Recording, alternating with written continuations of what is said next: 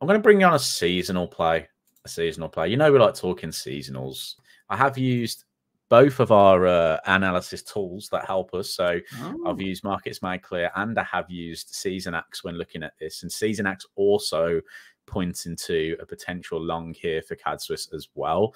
So um, they've got a lot more data on Seasonax um, compared to Markets Made Clear. So I'm only looking at 15 years worth of data here on on uh, this particular platform, but on Seasonax there was 24 years of data, and it was showing a very very similar thing. So this is CAD Swiss. Obviously, we've been talking about buying the Canadian dollar for for a while. Obviously, we've seen some fruition with that when it comes to sort of dollar CAD and whatnot.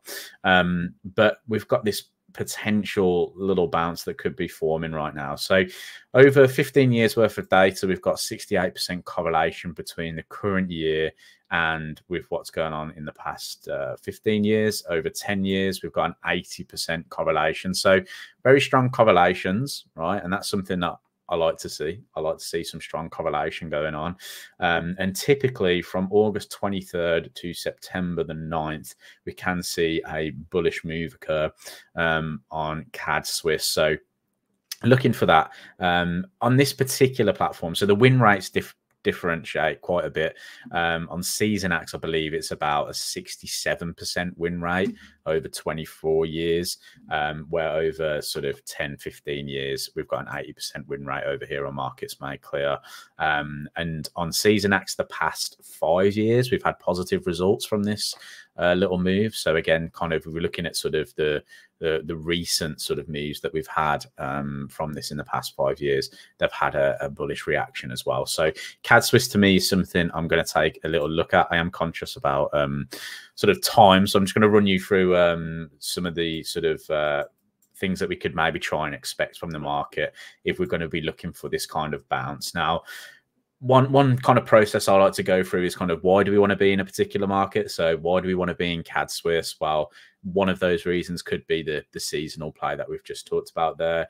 You can add layers to that as well. We've talked about being a buyer of CAD for for commitment to trader report reasons as well. Um, now, looking at the Swiss franc side of things, now that could be where it gets a little bit tricky for this market because Swiss franc has been very bullish, very bullish. We've had this safe haven play in the markets, and that's the one thing that could go against us in this particular market. So, whenever I look at the why, I also go to another part of the process, which are called the conditions. So, do the conditions match our idea? Right? I'm not just going to take that seasonal play, not just going to go and go, okay, I'm meant to be bullish now, go click buy. You know, that's not how it works. I wish it was how it works. It'd make life very, very simple for us, but that's not how it works. We need the conditions to line up as well. And at the moment, we don't particularly have those conditions. The market is very much in a bearish trend here. I would need to see some kind of changes in order to really want to be a buyer of this. Now, if we look at the weekly chart, again, very bearish in the markets. And I like to ask myself the question sometimes where would I want to be in if I was a buyer of this market? You know, I want to come in where sort of demand has been before. I want to be in that area where buyers have stepped in in the past. So, will we get the move expected in line with seasonality? We might not get the exact dates, but what we could do is look for areas where those plays could come into play. So if price kind of drove back into sort of the 6180 area, could that be an area where we start looking to look for those kind of uh, bullish changes within the market in order for us to to sort of go long um, on CAD Swiss. So that's what I'm kind of looking for at the moment. I'm looking at sort of how the market is moving on on time frames. Do we start to see some bullish momentum? So what I mean by bullish momentum would be just kind of changes in that sort of cyclical patterns that we have. You know, at the moment we're very much bearish here. I would say that's that's fairly bearish right now. So I want to see price kind of come back down into sort of 62s or below. Um, and if we do then start to see some cyclical changes, we could probably look for uh, a little bit of a move higher there. So that's something I'm going to be looking out for. Um, I like the little seasonal play here, uh, especially because of the sort of strong correlation that we've got. Okay, few few thoughts. Few thoughts. Yep. Okay, the I, I like the idea of CAD's long uh, but not yet.